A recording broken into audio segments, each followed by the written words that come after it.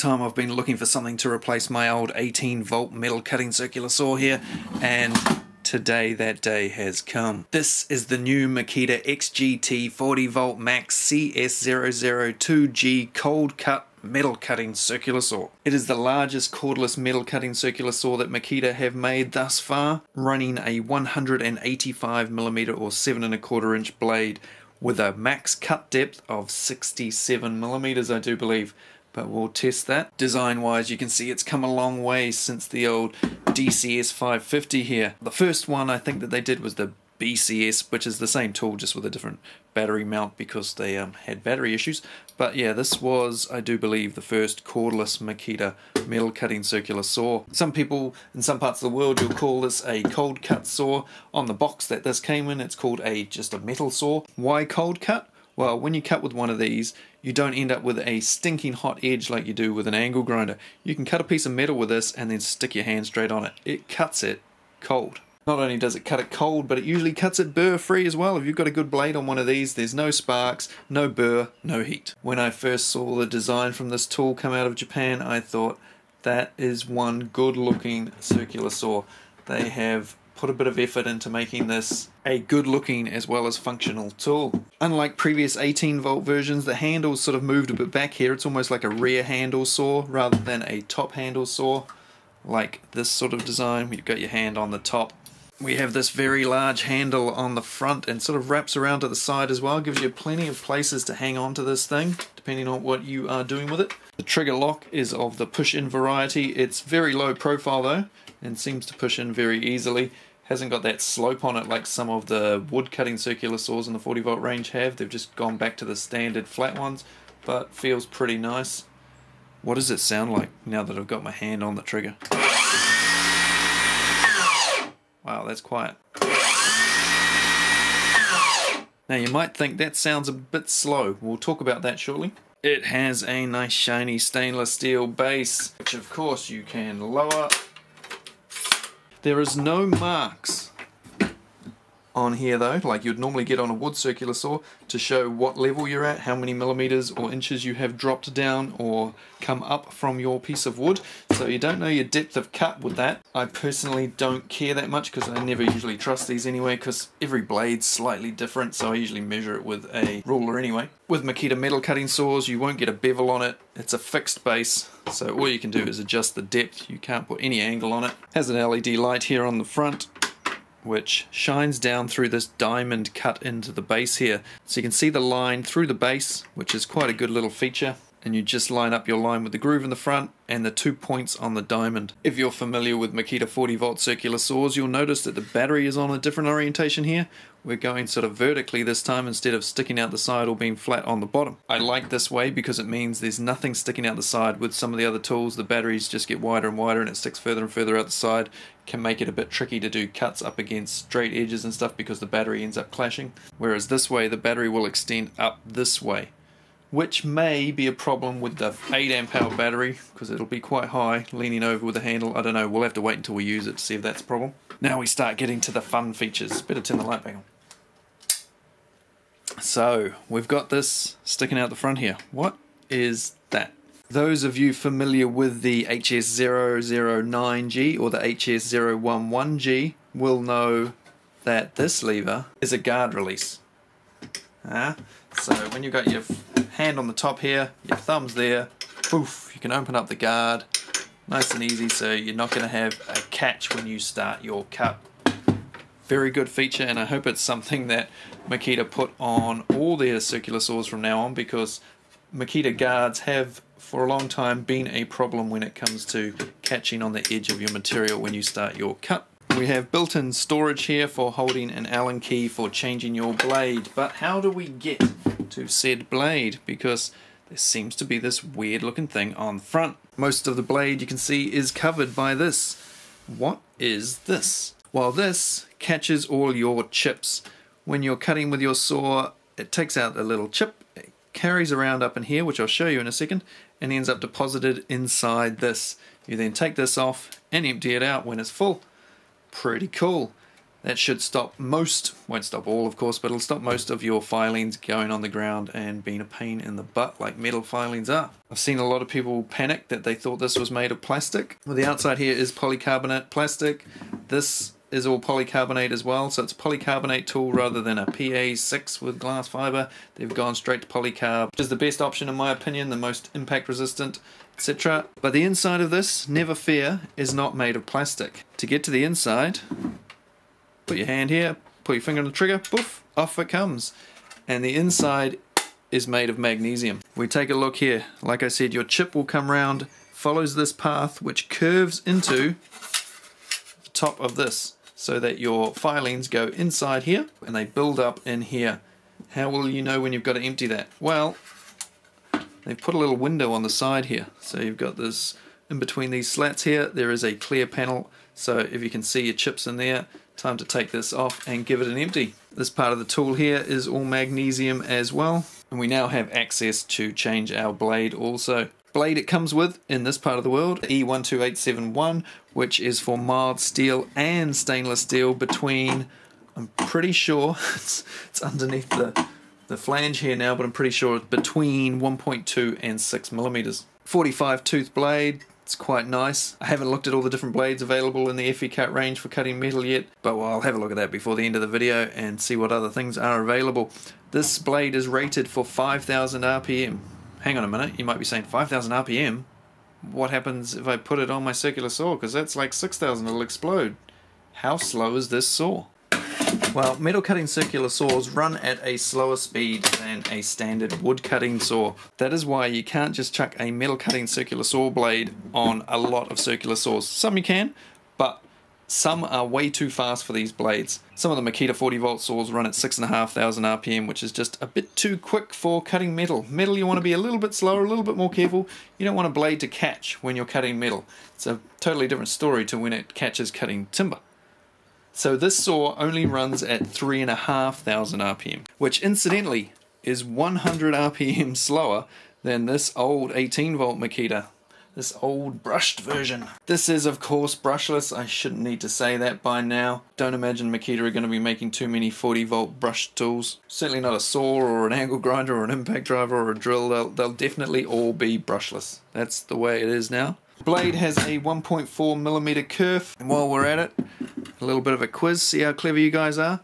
There's three flat spots on this guard. Flat, flat, flat. Why are they there? They're only on one side of the guard. Who knows the reason for that? Let me know down in the comments. So it's a nice looking unit, it's a nice feeling unit, it's good and solid. Let's actually just see how much it weighs and then I'll tell you one last thing about it before we go and do a cut. Bare tool with the blade, we are looking at 3.8 kgs. With a 2.5 amp hour battery, 4.5 kgs. With a 4 amp hour battery, it comes in at bang on 4.8 kgs. With a 5 amp hour battery, it's 5.1 kgs. And with the beast, the 8 amp hour, we are coming in at 5.6 kgs. Good, solid, heavy tool, and I think maybe the reason for that is some of you are going to like this. Made in Japan. Another 40 volt tool that's made in Japan. Seems there's a few of them coming through.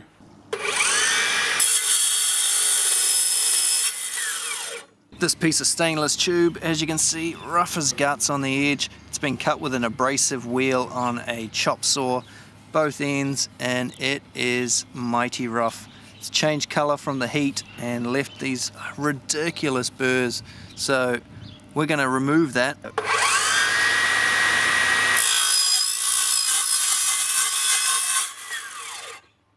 so easy. Sorry about all the noise, duckies. Next up, we have this piece of angle iron here. She's 5 mil thick, so this will be a good test for it.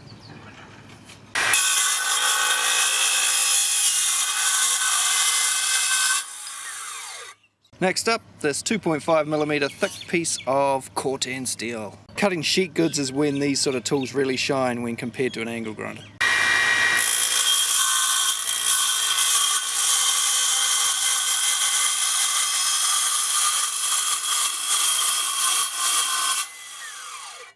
Let's now check which cuts a bit of rebar faster, an angle grinder or the new metal cutting saw. But first, hey Dan, don't forget to get that coffee and ice cream for Chelsea. She's waiting, mate.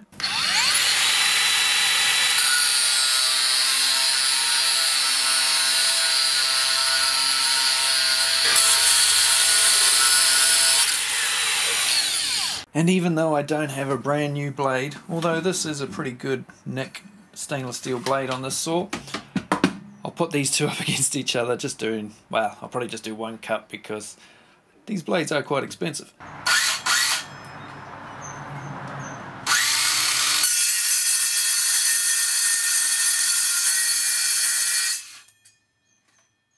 Still a great little saw.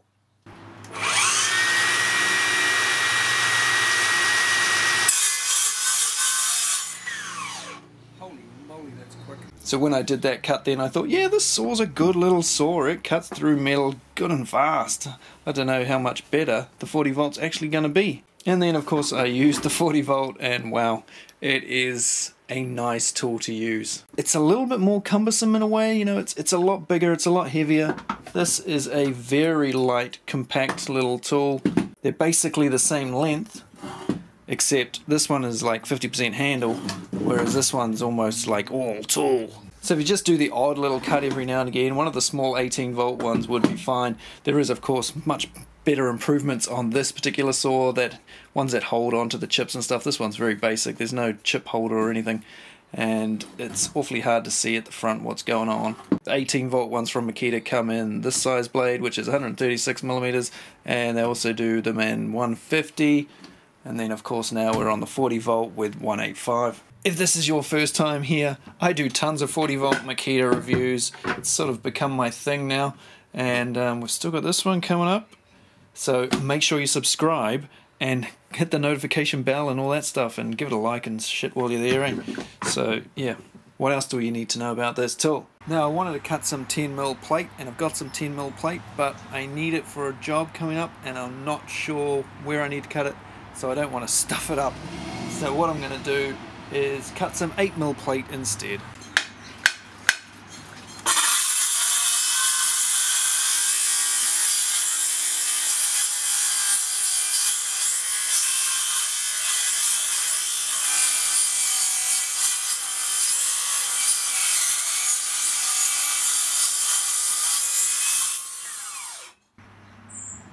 always scary, even though it's cold.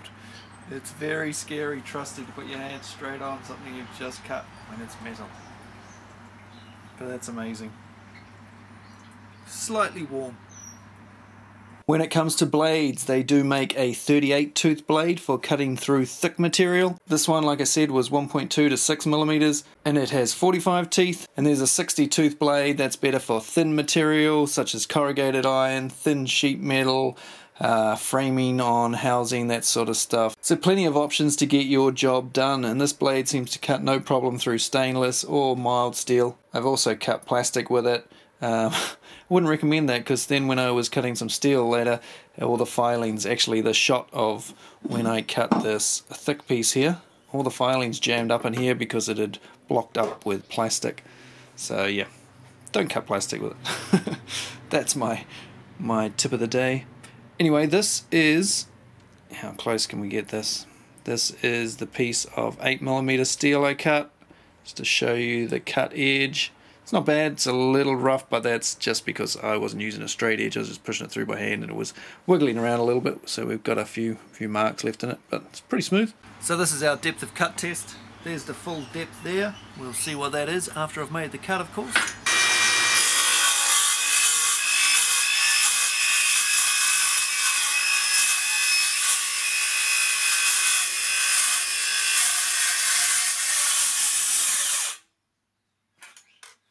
we are at 68 and a half millimeters it looks. Yeah 68 and a half mil. What was the official? Wasn't it 67 or was it 69 so with the depth of cut I managed to cut to 68.5 millimeters deep. That is about what two and three quarter inches something in that vicinity. Now Makita rated as 67 mil. That's probably 67 mil plus a little bit for the clearance of the tips I do find you can cut a few millimeters deeper usually than what they say. So they recommend more teeth for thin stuff, of course, like corrugated iron, but I find it's fine cutting corrugated iron with a blade like this. I usually stack a few sheets high though, I'm doing a few cuts, I stick them all together, just go slowly, make sure they're well supported, no problem at all. So what about emptying out the filings we have in here? If we, um, can we zoom in enough? Are we going to be able to see them? As you can see, the window is empty. If I tilt this saw backwards, you can now see it is full of all the schwarf. There is filings galore in there, mixed in with plastic and all sorts of shit because of something I'll show you maybe at the end of this video. So yeah, there's our little window. Shake it, gone. Look at that, it's amazing. Just below this window there is a vent on an angle inside here for air to come out and some small particles do get out through there as well I've noticed. Air is able to get in through these vents at the front of the polycarbonate here and get between the polycarbonate and the magnesium just to keep it all cool to the touch for when you're using it for extended periods of time. You don't want this thing getting hot and grabbing it by accident and burning yourself. So that's what that cooling is through there. Let's take a look on the inside here. You can see open through there, there's a big air cavity. So once your filings are all filled up, take this off, take it to your bin, don't do it on your bench and empty it all out. So it's much better than it going all over the ground, into your shoes, up sleeve of your shirt, etc. And I wish my 18 volt one had had that all these years. Isn't it pretty? But what are those plastic bits in there? Hmm, make sure you watch to the end. Now I imagine by now some of you have already put in the comments What's the difference between the CS001G and the CS002G? This is, as far as I'm aware, the only difference. It seems Makita have been listening to me down in this part of the world, haven't they? And so, the CS002G has the guard release, whereas the one doesn't. As far as I can tell, that's the only difference. If you have the option of getting the O2 over the O1, get the O2, because then you've got Pac-Man styles. Mine came with a straight guide in the box, which is nice. Another thing, Makita are listening. I don't think I got one with the 18 volt one. I think these should be included with every circular saw.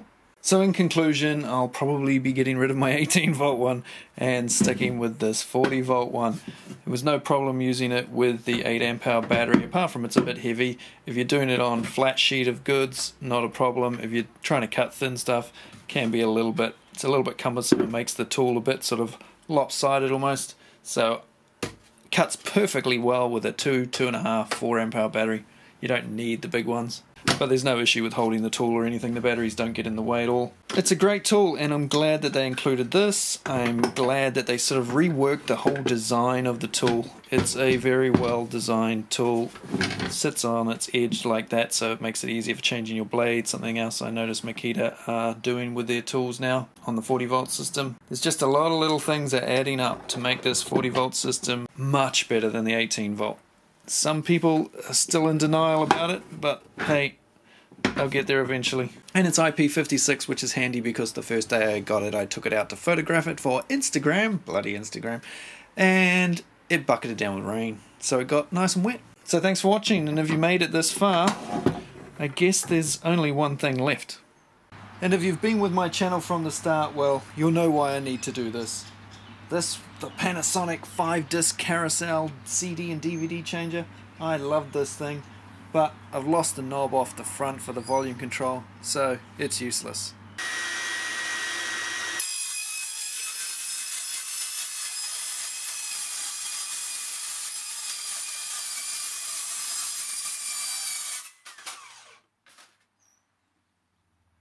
So good.